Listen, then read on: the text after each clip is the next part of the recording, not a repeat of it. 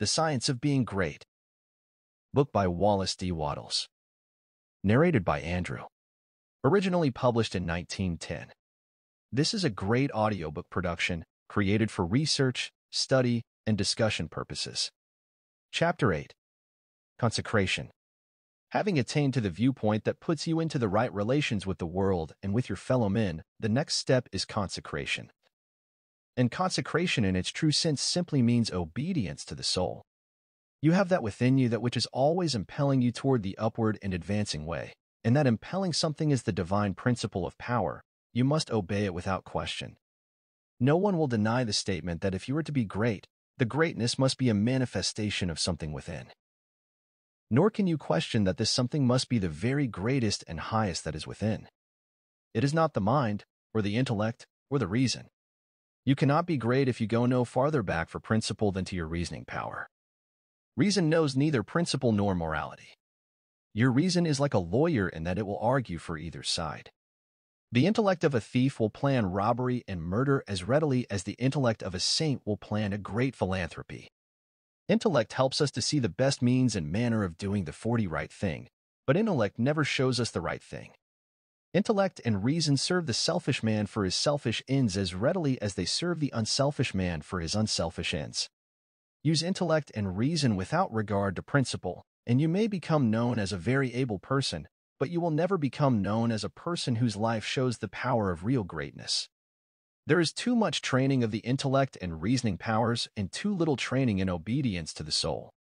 This is the only thing that can be wrong with your personal attitude when it fails to be one of obedience to the principle of power. By going back to your own center, you can always find the pure idea of right for every relationship.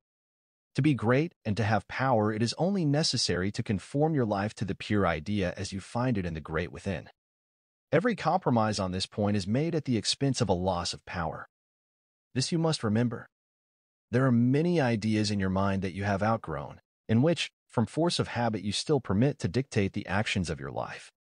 Cease all this. Abandon everything you have outgrown. There are many ignoble customs, social and other, which you still follow, although you know they tend to dwarf and belittle you and keep you acting in a small way. Rise above all this. I do not say that you should absolutely disregard conventionalities or the commonly accepted standards of right and wrong. You cannot do this, but you can deliver your soul from most of the narrow restrictions that bind the majority of your fellow men.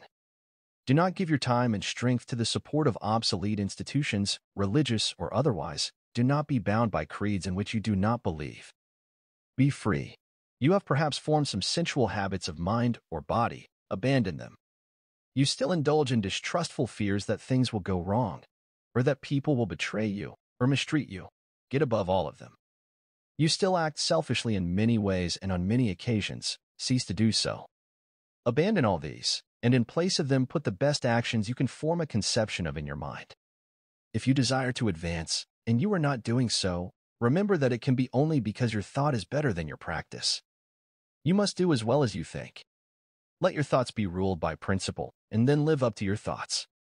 Let your attitude in business, in politics, in neighborhood affairs, and in your own home be the expression of the best thoughts you can think. Let your manner toward all men and women, great and small, and especially to your own family circle, always be the most kindly, gracious, and courteous you can picture in your imagination. Remember your viewpoint. You are a god in the company of gods and must conduct yourself accordingly. The steps to complete consecration are few and simple. You cannot be ruled from below if you are to be great. You must rule from above. Therefore, you cannot be governed by physical impulses. You must bring your body into subjection to the mind, but your mind, without principle, may lead you into selfishness and immoral ways. You must put the mind into subjection to the soul, and your soul is limited by the boundaries of your knowledge. You must put it into subjection to that Oversoul which needs no searching of the understanding, but before whose eye all things are spread. That constitutes consecration. Say, I surrender my body to be ruled by my mind. I surrender my mind to be governed by my soul, and I surrender my soul to the guidance of God. Make this consecration complete and thorough, and you have taken the second great step in the way of greats. S and Power. For more audiobook like this, hit the subscribe button and click on the notification bell so you get notified when we post a new audiobook. Thanks for listening.